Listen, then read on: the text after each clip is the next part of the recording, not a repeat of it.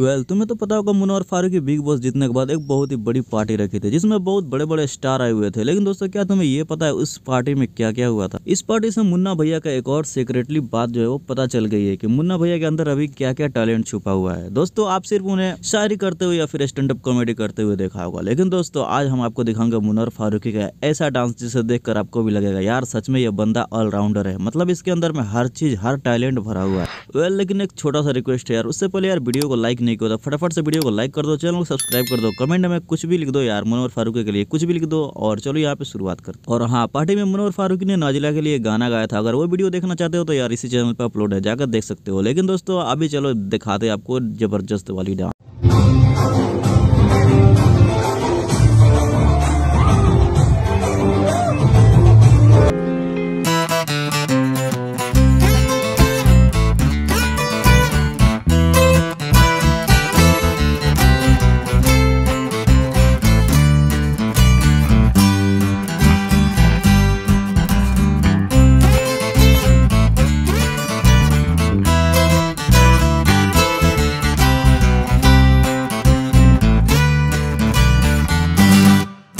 झलक दिखी थी मुनवर की डांस की, लेकिन अभी पता चल गया, सच में यार मुनवर बहुत अच्छा डांस भी करते हैं। तो दोस्तों, आपको इस पे क्या कहना है, वीडियो को लाइक करना, चैनल सब्सक्राइब करना, कमेंट में ज़रूर कुछ ना कुछ लिख देना।